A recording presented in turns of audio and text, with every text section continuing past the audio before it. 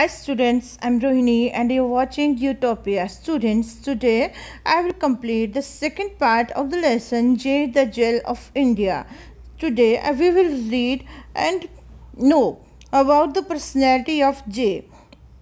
तो इसमें क्या है क्या बताया गया है एज अ मैन वो कैसे थे as an individual J R D was modest and daring and had a fine sense of humour तो बताया गया है कि वो एज एन इंडिविजुअल एक पर्सन एज अ मैन वो क्या थे? बहुत ही मॉडेस्ट थे। मॉडेस्ट मीन्स होता है अच्छे दिल वाले, उदार जो थे, ठीक है? एक लविंग पर्सन थे वो। और but he could never take kindly to show a pomposity तो लेकिन क्या है? वो लब कभी भी पॉम्पेस्टी यानी शो ऑफ़ नहीं करते थे अपना, ठीक है? केयरलेसनेस एंड कैजुअल एटीट्यूड तो क्या है? जो केयरलेसनेस लोग जो, ऐसे लोग जो केयरलेस होते हैं, ठीक है? जो कैजुअल एटीट्यूड रखते हैं या केयरलेस होते हैं, ऐसे लोगों को वो लाइक नहीं करते थे, उनको वो पसंद नहीं करते थे। When a friend began a letter to J R D with a salutation dear J he wrote back तो क्या है? एक बार क्या होता है कि उसका एक फ्रेंड होता है तो फ्रेंड ने क्या किया? कि उसको एक लेटर लिखा और लेटर में उसके नेम की जो स्पेलिंग है वो रॉन्ग लिख दी। उसने जे ई एच नहीं लिखा, उसने जे ए वाई लिख दिया। मतलब कि उसकी स्पेलिंग मिस्टेक कर दी तो क्या होता है? उसने वापसी पे जो है अपने फ्रेंड को लेटर लिखा। और क्या लिखते हैं? I have looked up the dictionary and find that J is a noisy chattering noisy chattering European word of a brilliant plumage and and figuratively and impertinent chatter or simpleton तो बोलता है कि मैंने डिक्शनरी देखी है। उसने अपने friend को लिखा कि मैंने डिक्शनरी को देखा हुआ है और डिक्शनरी में जो जे जे ए वाई जो आपने स्पेलिंग लिखी है, इसका मतलब होता है एक ऐसा वर्ड जो बहुत ही चैटरिंग करता है, बहुत बोलता है, ठीक है? लेकिन उसके पंख जो होते हैं, वो बहुत ही क्या होते हैं? ब्रिलियंट होते हैं। ब्रिलियंट मीन्स चमकदार उसके पंख होते हैं। ठीक है? और एक ऐसा पर्सन जो कि क्या है इम्पर्टिनेंट होता है, जो मतलब कि क्या होता है इम्पर्टिनेंट होता है, जिसको बोलते हैं जो गुस्ताख, ठीक है? या फिर चैटर आर सिंपल्टन जो बहुत ज़्यादा बोलने वाला पर्सन होता है उसका मतलब होता है मतलब जे का मतलब ये होता है जो बहुत ज़्यादा बोलने वाला होता है। For future reference please note that my name is spelled J E H in abbreviation of Jehangir तो बोलता है उस आ, उन्होंने कहा कि फ्यूचर में याद रखना ठीक है कि ये नोट कर लेना कि मेरा जो नाम नेम की स्पेलिंग है वो जे ई एच है जो कि एब्रीवेशन है जो कि शॉर्ट फॉर्म है किसकी? जहांगीर की ठीक है? Any resemblance between me and the word is purely coincidence तो बोलता है, अगर कोई भी समानता है मतलब समानता सिर्फ़ क्या है उनके? उनके जो प्रोनाउंसिएशन में जो समानता है, वो जस्ट एक कोइंसिडेंस है, जो उस वर्ड के प्रोनाउंसिएशन में है और जे के जो जहांगीर के नेम का जो शॉर्ट फॉर्म है, उसमें उसमें अगर कोई समानता है तो वो क्या है? सिर्फ़ एक क्या है? कोइंसिडेंस है, ना ना कि वो एक जो है रियलिटी है। तो J R D was a shy and reticent man तो जे आर डी क्या थे? शाई नेचर के थे, ठीक है? और रिज़र्व नेचर के थे। वो ज़्यादा जो है, घुलते मिलते नहीं थे किसी के साथ। He was never interested in receiving honour but was showered with them with amuse him तो क्या है? वो उन्होंने कभी भी इस चीज़ में इंटरेस्ट नहीं लिया कि उनको कोई भी ऑनर दिया जाए लेकिन फिर भी उनको जो है बहुत सारे ऑनर दिए गए ठीक है? जो उनको ऑलवेज क्या करते थे? सरप्राइज़ कर देते थे। When he was told that government of India was thinking thinking of giving him Bharat Ratna the country's highest civilian award तो क्या होता है? Uh, he responded with modesty and wit why me तो क्या होता है? जब एक बार क्या होता है, उसको पता चला कि इंडिया की जो गवर्नमेंट है, वो उसको भारत रत्न देने जा रही है। ठीक है? जो कि इंडिया का हाईएस्ट सिविलियन अवार्ड होता है। तो उसने जो बहुत ही जो है उदारता से बहुत ही सोच समझ के जो है रिस्पॉन्ड किया उसका और उसने बोला कि भाई भी, मुझे क्यों दिया जा रहा है ये, ठीक है? आई डोंट डिज़र्व मैं डिज़र्व नहीं करता इसको।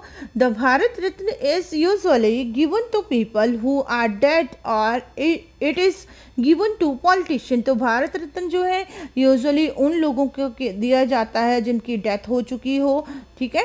या फिर, या कोई किसी पॉलिटिशियन को दिया जाता है। I am not prepared to oblige the government on former and I am not the latter तो बोलता है कि मैं तो ना तो मैं पॉलिटिशियन ज्वाइन करूँगा और ना ही मैं अभी मरने के मूड में हूँ तो इसलिए मुझे भारत रत्न जो है नहीं दिया जाना चाहिए, ये उनका कहना था। तो जे आगे क्या होता है बेटा?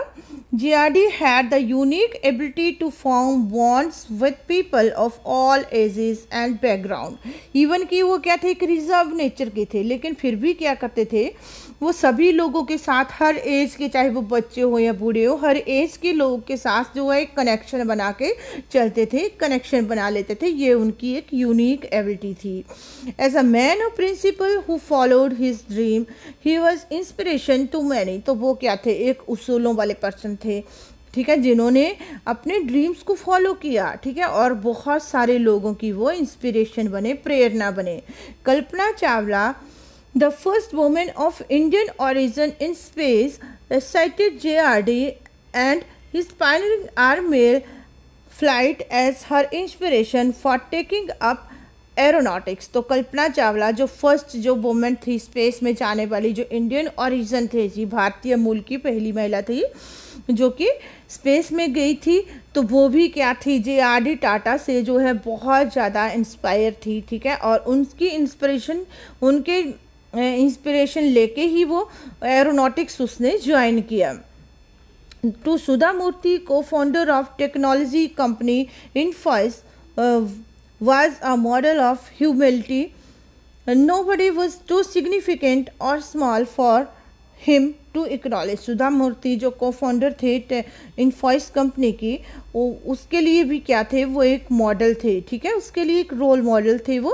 वो उनसे भी, वो भी जे आर डी से बहुत ज़्यादा इंस्पायर थी।